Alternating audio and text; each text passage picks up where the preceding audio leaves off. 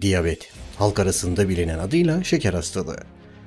Diyabet günümüzün belki de en sinsi hastalıklarından biri. Sessiz sedasız günden güne çoğalıyor. Öyle ki birçok hastalığın da maalesef başlangıcı. Bunu kontrol altına almadığımız sürece başka hastalıklara da davetiye çıkarırız. Bu hastalık yalnızca kan değerlerinden anlaşılıyor. Bugünkü videomuzda yine siz değerli takipçilerimin sağlığını düşünerek şeker hastalığı için bir ölçüm cihazını inceleyeceğiz. Malum artık Ramazan ayındayız. Bu yüzden iftarda yediğimize ve içtiğimize dikkat etmemiz gerek. Özellikle de tatlılara. Bugün belki diyabet değilsiniz ama yarın olmayacağınızın bir garantisi yok. Bu nedenle böyle bir ürün belki işinize yarayacaktır.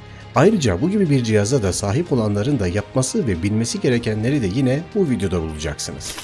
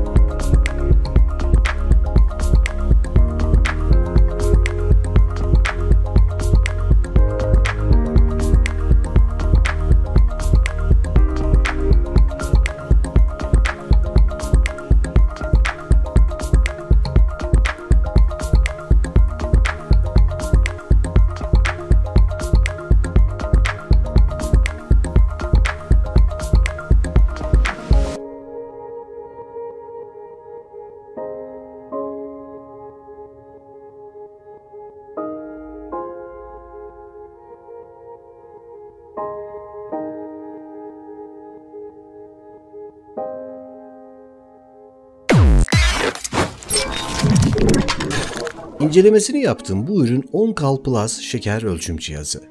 Önce ilk kullanım için cihazı hazırlayalım. Ürün görmüş olduğunuz bu pille çalışıyor. Pili cihazın bu pil haznesine takıyoruz. Bu normal bir kumanda ve saat pili. Yani standart her yerde rahatlıkla bulunabilir. 10 Kal Plus şeker ölçüm cihazı son derece kibar ve zarif bir alet. Ayrıca oldukça da hafif. Evet şimdi geçelim diğer bir aksesuara. Bu da iğne kalemi. Ölçüm için parmaktan kan çıkartmakta kullanılan iğneyi buna takıp kullanıyoruz. Şu an içi boş. Kalemi kullanabilmek için ürünle birlikte gelen iğnelerden birini buna takmamız gerek. Şimdi iğnelerin bulunduğu poşetten bir tane iğne çıkaralım. Poşette yedek olarak gelen iğneler de var. İçerisinden toplam 5 tane iğne ucu çıkıyor. Bu iğneler kişiye özel olduğu için başka birinde kullanmak sağlık açısından çok sıkıntılı. Çünkü bu iş hassas bir iş. Bu iğneyi kalemin içerisine yerleştireceğiz. Bunun için kalemin başlığını işaretli olan yerden hafif bir şekilde bastırıp çektiğimiz zaman iğnenin takılacağı yuva ortaya çıkacak. Bu görmüş olduğunuz boşluğa iğnenin alt tarafı gelecek, yuvarlak olan kısım ise yukarıya bakacak şekilde yerleştiriyoruz. İçeriye doğru biraz bastırınca tık diye bir ses çıkacak. Bu iğne yerine oturdu demek.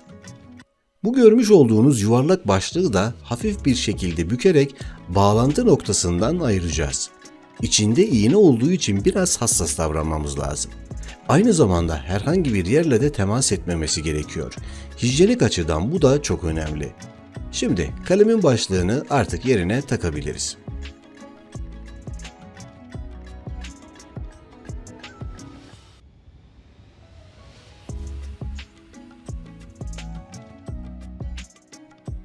İğne mekanizması şu an hazır vaziyette. 5 numarada delmeye ayarlı ve tuş içinde turuncu bir renk görünüyor. Bu kalem artık çalışır vaziyette demek. İğne kaleminin alt tarafından çektiğimiz zaman bu turuncu rengi görmemiz gerekiyor. Bu bize cihazın kullanılabilir olduğunu gösterecek. Evet, kalem için yapılması gerekenler de bunlar. Cihazın bu tarafında görmüş olduğumuz boşluk ise strip adı verilen ölçüm çubuklarını cihazın algılaması için gereken çipin takıldığı yer. Bu çipler cihazla birlikte gelmez, harici olarak satılır. Her kutu yalnızca bir çiple çalışır. Başkasına ait bir spritti bu cihazda kullanamazsınız. İşte bu elimde tutmuş olduğum çip stripleri yani ölçüm çubuklarını cihaza tanıtmaya yarıyor. Her stripsin kendine özel bir numarası vardır. Şu an incelemiş olduğum bu stripslerin numarası 304. Ürünün sağ tarafında bulunan bu boşluğa çipi yerleştiriyoruz. İşte kurulum bu kadar basit. Cihaz stripleri yani ölçüm çubuklarını bu çip sayesinde tanıyacak. Artık cihazı çalıştıralım. Cihazın üzerinde bulunan M tuşuna bastığımız zaman cihaz açılıyor. İlk başta genel saat ayarları göründü. Cihazı 24 saat dilimine göre mi yoksa 12 saat dilimine göre mi çalıştırmak istiyorsunuz bunu belirliyoruz. Ben 24 saat yaptım. M ile değiştir, S ile seç. Şimdi ise tarih. Önce yıl ayarlayalım. 2024 yılındayız. S ile seçip devam ediyorum. Burada ise içinde bulunduğumuz ay hangi ay ise onu, devamında ise gün ayarını yapıyoruz. Ve böylelikle tarihi de ayarlamış olduk. Sırada saat ayarı var. Biraz önce 24 saat dilimine göre ayarlama yapmıştım. Şimdi ise M tuşu ile hangi saatte isek onu belirleyip ardından dakikayı da ayarladıktan sonra tam zamanı kaydediyoruz. Burada ise cihazdan uyarılar esnasında ses çıkmasını istiyorsak açık, istemiyorsak kapalı konumu alıp çalıştırabiliyoruz. Cihazda yapılması gereken bütün ayarlar da bu kadar. Bütün işlemler bitince cihaz otomatik olarak kendini kapatacaktır. Şimdi gelelim ölçüm için yapılması gerekenlere. Stripsler özel bir kutuda muhafaza ediliyor. Bu seri 304 numaralı kodla çalışıyor. Biraz önce cihaza taktığımız çipin kod numarası ile aynı. Bunlar birbirini tutmazsa sağlıklı sonuç alamazsınız. Burada dikkat edilmesi gereken bir şey de stripslerin tarihi. Bunların da tarihi geçmiş olursa yine istediğiniz sonucu alamazsınız. Şimdi ilk testimizi yapmak için kutudan bir tane strips çıkartalım.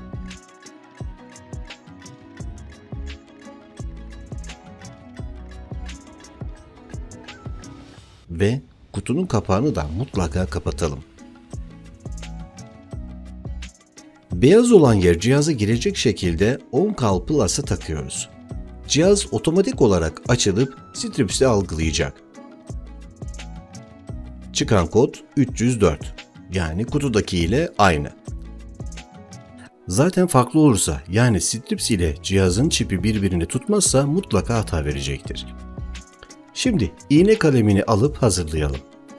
Turuncu renk belirgin olana kadar alt taraftan çekiyoruz. Mekanizma yerine oturacaktır.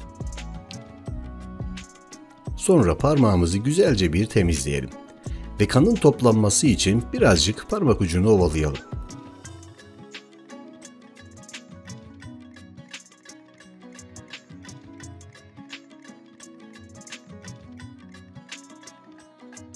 Kalemin ucunu 5 numaraya alıyoruz. Ve ateş. Derme işlemi tamam. İlk çıkan kanı her zaman temizliyoruz. İkinci çıkaracağımız kan ile testimizi gerçekleştireceğiz. Şimdi cihazı alıp tarif ettiğim şekilde ölçümü gerçekleştirelim.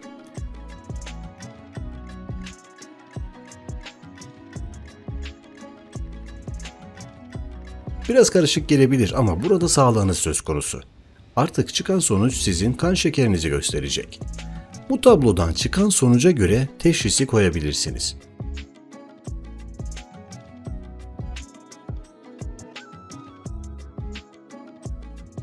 Bu ölçümler esnasında bazen hata alabilirsiniz. Yanlış bir uygulama sonucunda E5 mesajı veya farklı hata kodları çıkabilir. Bunlar ürünün kitapçığında belirtiliyor. Bu durumda stripsi çıkartıp hatayı kontrol edip yeniden test edin. Bazen de hatalı kullanımdan dolayı çok farklı şekilde cihazın size sonuç verdiğini görebilirsiniz veya sağlıklı ölçmediğinden şüphelendiğiniz de olabilir. Bu durumda ürünle birlikte gelen bu solüsyonu kullanarak cihazınızı test edebilirsiniz. Solüsyonun kapağını açıp kendi kapağının üzerini temizleyelim. Testimizi bu kapak üzerinden yapacağız. Daha temiz bir yer varsa siz orada da yapabilirsiniz.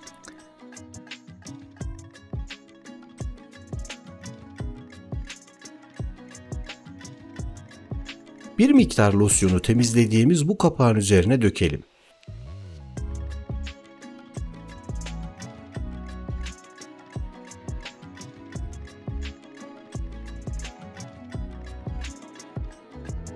Şimdi daha önce hiç kullanılmamış temiz bir strips'te alıp cihaza yerleştirelim.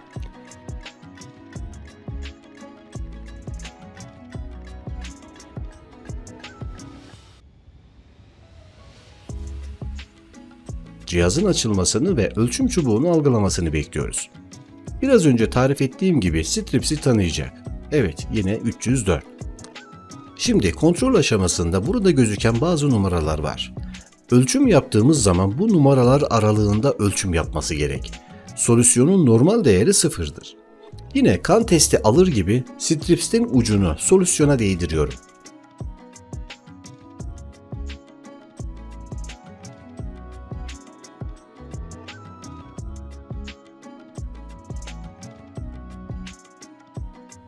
Çıkan sonuç 124.